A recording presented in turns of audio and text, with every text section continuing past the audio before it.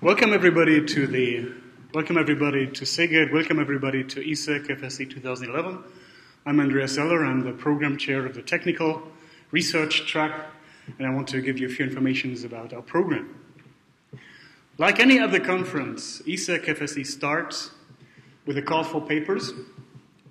A call for papers in which you call for papers in which we describe. Uh, what the topics we want to have, the papers we want to have, and of course, by which we invite you, our authors, uh, to submit nice conference, uh, to submit nice uh, submissions to the conference. After the call of, after the call for papers is out, next thing that happens is that we do have a submission site. In our case, it was EasyChair, on which uh, you can all submit your research, uh, your research results. Um, few of you know how uh, few of you may know how the actual distribution of papers across time happens. We opened our site for ESEC FSE on February 15 this year, and uh, this is how the individual uh, contributions came in over time. Uh, two days before the deadline, we had uh, we had just 50 submissions. That's five zero submissions, and I wondered, uh, well, will we be able to actually do a nice conference with that? One day before submission, the number had increased. We had 101 submissions, and uh, still, still this was a record low number for ESEC FSE, but uh, everybody told me, just relax, Andreas, it will all be good at the very end. And uh, lo and behold, on the very last day, in the last 24 hours before uh, the deadline, uh, that's actually when the gist of submissions came in. Uh, the majority of submissions actually came in the last 24 hours. Overall, we had 203 submissions. That was 202 submissions uh, before the deadline, and actually one submission uh, 30 minutes after the deadline. Our, our, our, server crashed under the load for, for five minutes, and so we had a, had a small grace period in which another, another two papers then finally got in. If you look at the distribution of uh, submissions all over the world, you'll see that, um, you'll, you'll, see that um, well, Almost every continent is in there. We have papers, of course, we have papers from Austria, Belgium, Brazil, uh, Argentina, from Chile, from Canada, many submissions from China, from India, from Hong Kong, from Italy, France, uh, Portugal, Spain, uh, Finland, uh, Norway, Norway, Sweden, the UK, and a large number of papers from the United States. Altogether, we had uh, 180 authors coming from the United States, which sets a record. Uh, the next largest country in uh, number of authors is China. China is catching up rapidly. Next ones are Canada, Germany, Italy, and Singapore. Singapore with uh, 22. Sorry, where's Singapore? On the, uh, Singapore is here. Yeah, Singapore with the 22 with uh, 22 authors, uh, probably the highest number of authors per square meter ever. In contrast to the US or Canada, where this is far more spread, or the two authors of Russia, for instance. Uh, in terms of topics, uh, this is the list of topics that we had on the website. Uh, authors could uh, classify the paper according to these topics. The all-time favorite for, like uh, for any major software engineering conference is software testing and analysis. I think we simply haven't found a way to split this into more uh, into, into, better subgroups yet. But this is the gist of all pa- gist of papers. Next, more popular things are software tools, empirical software engineering, theory and formal methods, case studies and experience reports on the other hand of the spectrum, you'll find software policy and ethics, on which we had exactly one submission, and our end user software engineering, which has exactly three submissions. I'm perfectly, I'm perfectly happy to see many papers in these areas, but maybe we should also think about policy and ethics in these areas.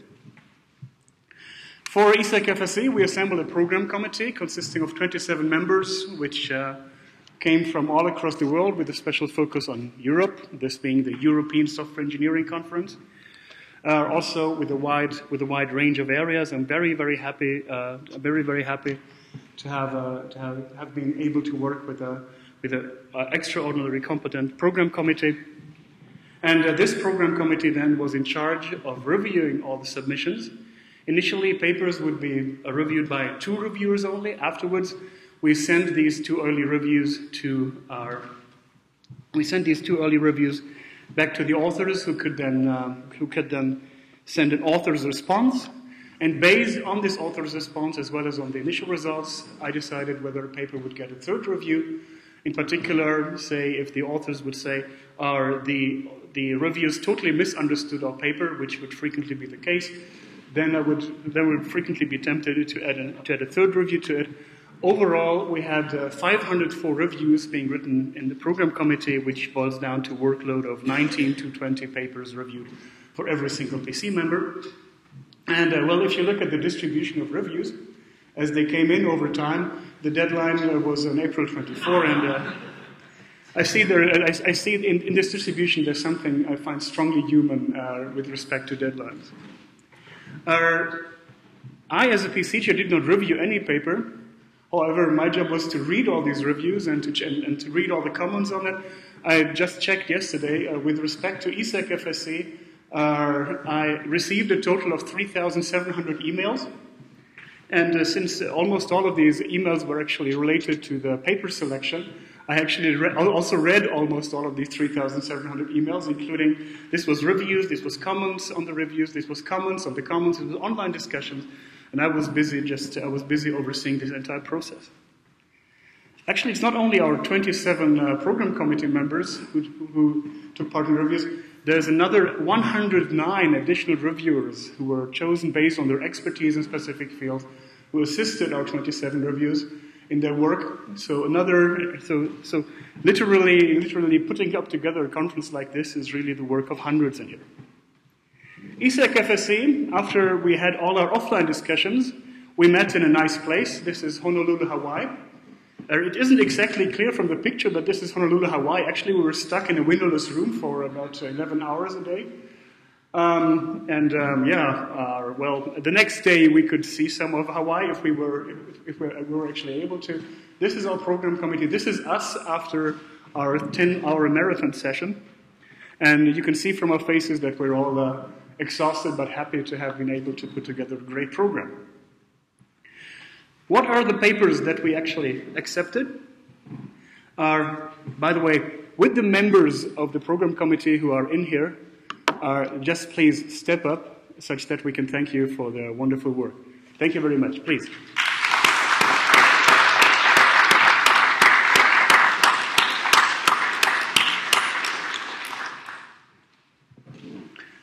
Looking at, uh, looking at the papers we accepted, I have a, a few statistics for you. Altogether, we accepted um, 34 out of 203 papers. That's uh, an acceptance rate of uh, 17%, one out of six papers on average.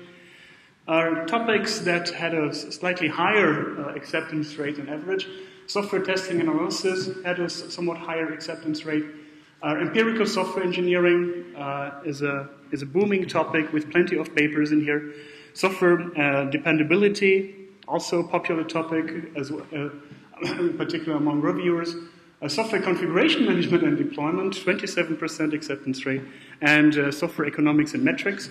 I should point out that uh, metrics, configuration management, and empirical software engineering are intercorrelated because they're intercorrelated due to the topic of uh, mining software repositories, which of course, well, it, which is frequently concerned with metrics and mining version archives.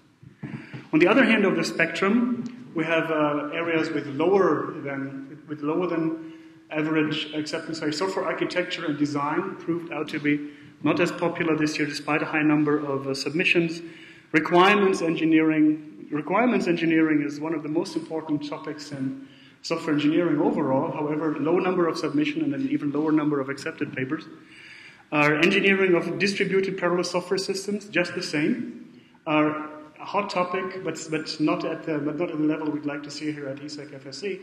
Program comprehension and visualization, 19 papers submitted, only one got accepted, are again an indication of an indication of um, of differing standards in the program committee as well as in the submitters.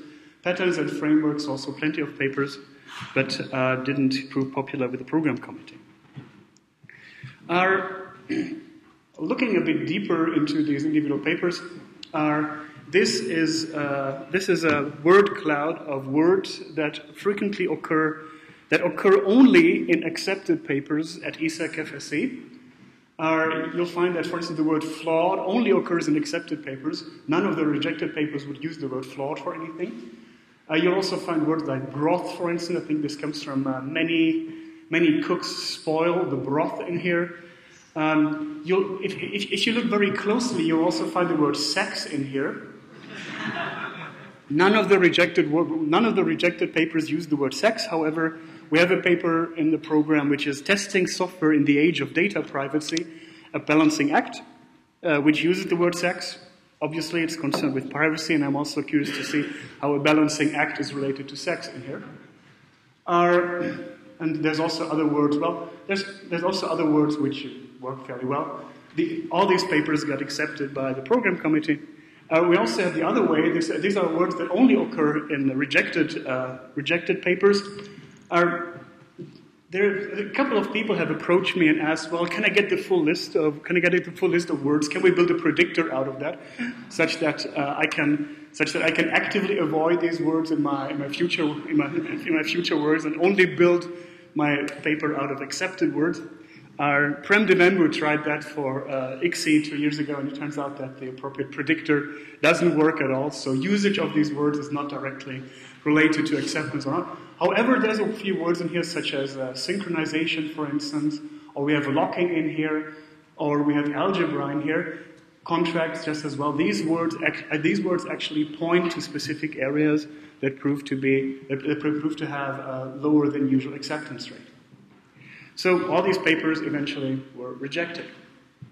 If you want to build a predictor, actually, a better way to do this would be to look at the would be to look at the reviews actually these are words that occur in the reviews only of the accepted papers. Uh, well, there's, um, this is, uh, there's, there's quite a number of words like perforation, for instance, which directly come from the vocabulary of the papers they refer to. But uh, if you look at the words that occur frequently in the reviews of rejected papers, you'll find words like um, obscure, rigorously, unfortunately, uh, disappointed, uh, flawed here again. Yeah, but this is for the reje- this is what the reviews say about the rejected papers, uh, and other words that are the other words that are simply negative, that are very very negative in here. And uh, it turns out that build, based on these words, based on these words like unfortunately or likewise, you can actually pretty easily build a predictor for uh, whether the paper will be accepted or not based on the reviews which means that, um, which means that my job as a program chair will eventually be replaced by a, by a, by, by a nice machine learning model, which is perfectly fine with me. Except that uh, a model wouldn't be able to give a talk in the end. So this is about, this is about the technical program. Our a couple of additions. We do have a, we had a special, we had had a special institution this year for ESEC FSE. We want to encourage researchers to provide artifacts, that is, tools and data for future research, which means that we want to encourage papers that provide data such that others can build on that data, that provide tools such that, that others can use these tools for future research. We had to set up a special artifact evaluation board to take care of this, led by Shriram Krishnamurthi and Carlo Ghezzi. And uh, we had uh, this artifact evaluation board has selected seven papers whose artifacts met or exceeded expectations. These are papers especially recommended by the Artifact Evaluation Board such that you can build your future research on it. And we also have a Distinguished Artifact Award, which is sponsored by Microsoft. This is a premium of $1,000. All of this to be handed out at the award session at the gala dinner. And we do have, and um, the authors of these, uh, the, the, seven papers which we recommend specific, specifically for the artifacts are marked in the program as such. And they also, have, they also come in a special session on Friday in which uh, the authors present the specific values of their artifact, in addition to presenting their papers uh, in terms of research results. We have an industrial track with a, whose papers have a special focus on being applicable in industry or coming from industry. We have seven papers in a special track. Uh, Frank Tip and Volker Brun were in charge of this track. This is for this for all of you who want to see which are how our research in academia relates to the actual problems in industry and vice versa. We have a new ideas track led by Martin Robillard, in which we present papers on ideas in early stages of development, and by the nature of these very papers, uh, by the nature of these very ideas, the presentations are short, are typically five minutes, very vivid presentations, very fun presentations.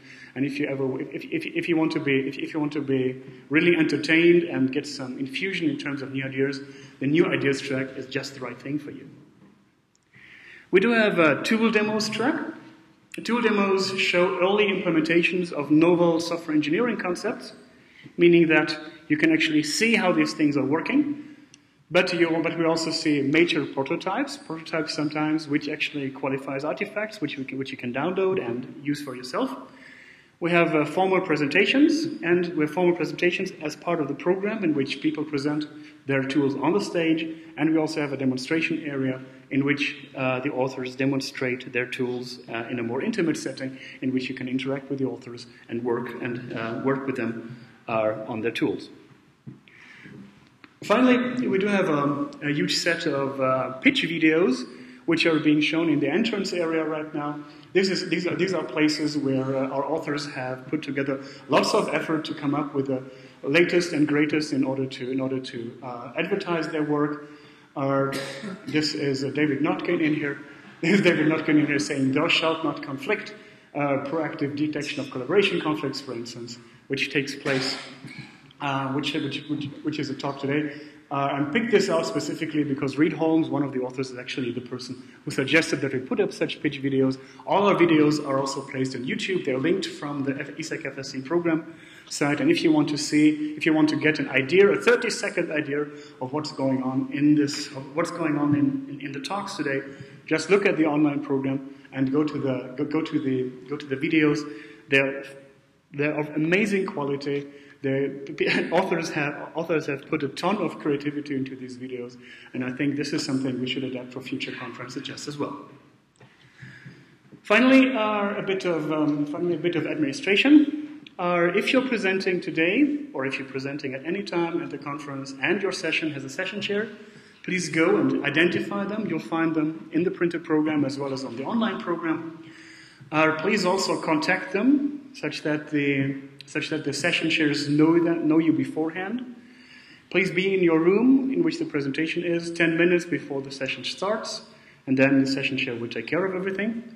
And we also have two changes to the program in terms of session chairs today. Uh, research track 4, this is analysis 1, will be handled by Tibor Gyimóthy, and research track 6, collaboration, will be handled as session chair by myself. That's all about the program for today. Thank you very much for your attention.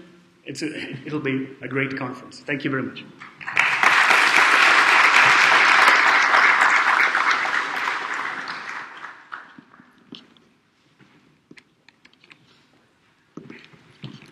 And with that, I'd like to call in Wilhelm Schäfer, our keynote speaker for today.